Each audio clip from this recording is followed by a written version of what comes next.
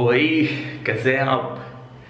Gas अगर किसी की पहचान करनी हो कि कोई बचपन से योगा करता है या नहीं करता है तो उसकी सिंपल पहचान यही है तो जो शीर्षासन कर लेता है, उसको आप मानिए कि वो 10 या 11 साल से योगा कर रहा है।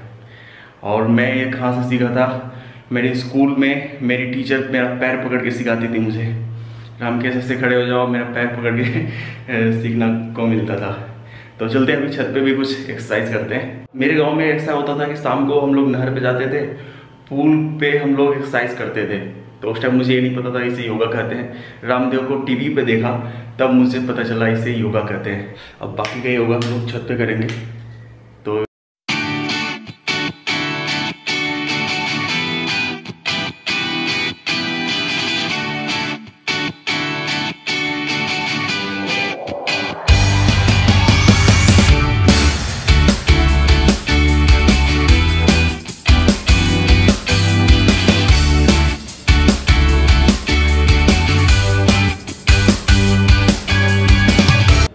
सूर्य भगवान से ऐसा रिश्ता है मेरा कि सुबह आके जस्ट मैं उनसे आँखें मिलाता हूँ।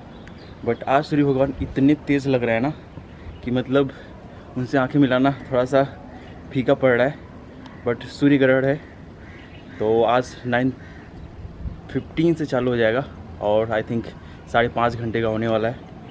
तो मैंने जस्ट सूर्य भगवान से प्रार्थना कर लिया। है आप भी प्रार्थना कर लीजिएगा और घर से बाहर मत निकलिएगा।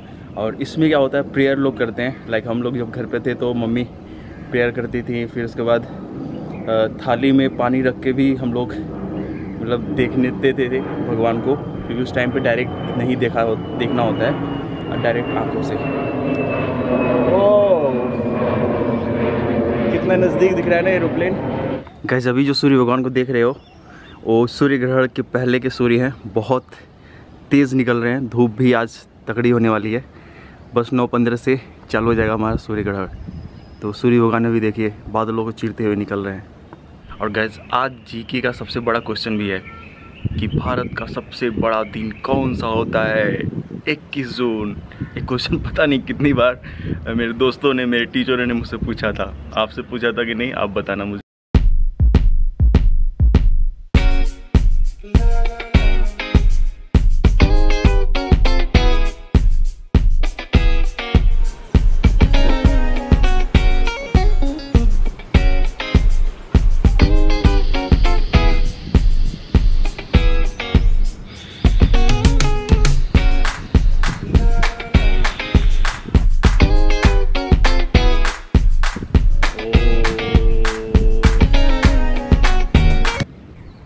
सो दोस्तों, आज हो गया मेरा अंतर्राष्ट्रीय योग दिवस, जो मैं रोज़ करता हूँ। तो आज करने का आनंद भी कुछ और है, क्योंकि मुझे लग रहा है कि जो मैं करता हूँ, उसे पूरी दुनिया सेलिब्रेट कर रही है। So just make me proud for this और गैस आज फादर डे भी है तो फादर डे एक दिन नहीं होता है। आपको जस्ट हमेशा अपने फादर की केयर करनी होती है, अपने पापा से बातचीत करनी होती है।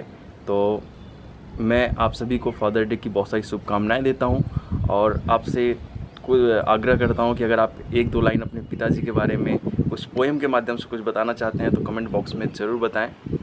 एंड uh, इसी के साथ आज का वीडियो द एंड करते हैं। और मुझे कमेंट करके आप ज़रूर बताइए कि आपको इन डेज़ के बारे में अपने एक्सपीरियंसेस शेयर कीजिए ज़रूर कि आप एक्सरसाइज करते हैं कि नहीं करते हैं। और just thank you so much for watching me and बहुत सारा प्यार आप सभी को इतना सपोर्ट करने के लिए. So love you all thank you so much